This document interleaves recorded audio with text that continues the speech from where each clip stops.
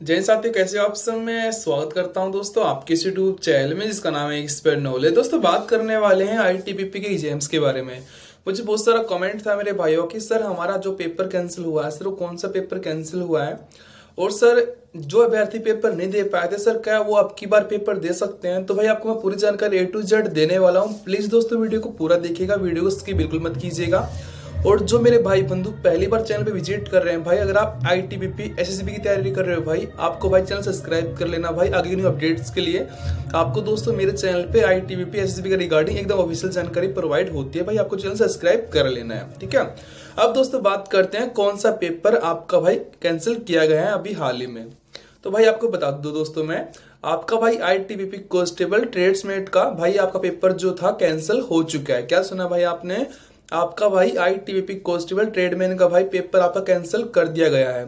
जिन मेरे भाइयों ने 10 जनवरी को पेपर दिया था भाई, आपको पता दोस्तों, आपका पेपर जो हुआ था 10 जनवरी को कंडक्ट करवाया गया था आईटीबीपी के द्वारा। तो भाई आपका दोस्तों पेपर था जो कैंसिल कर दिया गया है। कैंसिल क्यों कर दिया गया आपको पता भी होगा दोस्तों, क्योंकि भाई उस पेपर में भाई आपकी बहुत ज़्यादा धांधली चली थी।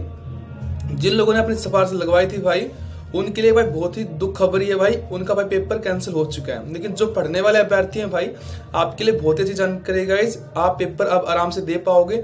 आपकी भाई न्यू डेट अभी आने वाली है, ठीक है? आपको दोस्तों बता दो न्यू डेट आती है, आपको भाई मैं बता दूँगा ज़रूर, ठीक है? आपको टेंशन नहीं लेना है। आपको बस चैनल सब्सक्राइब कर लेना है। लेकिन मैं हमेशा आपको बोलता हूँ यार पढ़ लिया करो, पढ़ लिया करो। लेकिन दोस्त क्या सोचते हैं लोग?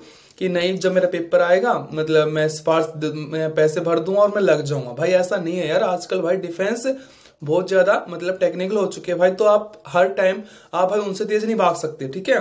तो गाइज़ आपको पढ़ना पड़ेगा। जो भाई बंधु पढ़ने वाले हैं भाई, उनके लिए बहुत अच्छी जानकारी है। आपका भाई इस भर्ती में हंड्रेड परसेंट सिलेक्शन होना हंड्रेड परसेंट गाइड मैं लिख के दे रहा हूँ भाई, जो अभ्यर्थी पढ़ने वाले हैं भाई, आपका हंड्रेड परसेंट सिलेक्शन होगा इस आई वाली भर्ती में। तो गाइज़ आपके लिए बहुत अच्छी जानकारी। लेकिन भाई, देखिए, जो अभ्यर्थी पढ़ने वाले थे, जिन्होंने पढ़ के पेपर दिया था भाई, उनके लिए बस इतनी सी मतलब थोड़ी सी दुखी खबर है कि आपको पेपर दोबारा से कंडक्ट मतलब दोबारा से पेपर आपको देना पड़ेगा, दोबारा से भाई आपको जाना पड़ेगा एग्ज़ाम सेंटर पे, ठीक है?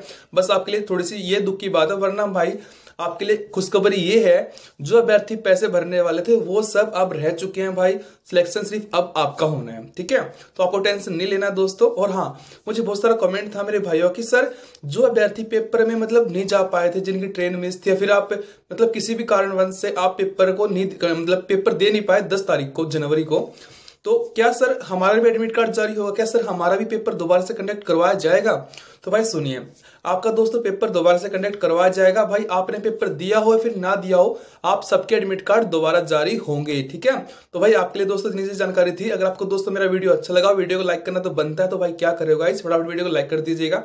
और जो मेरे भाई बंधु चैनल में पहली बार विज़िट कर रहे हैं, भाई, आप तैयारी कर रहे हो आई की एस की, या फिर दोस्तों आप किसी भी गवर्नमेंट जॉब की तैयारी कर रहे हो, आपको भाई चैनल सब्सक्राइब कर लेना है, ठीक है? तो guys thank you so much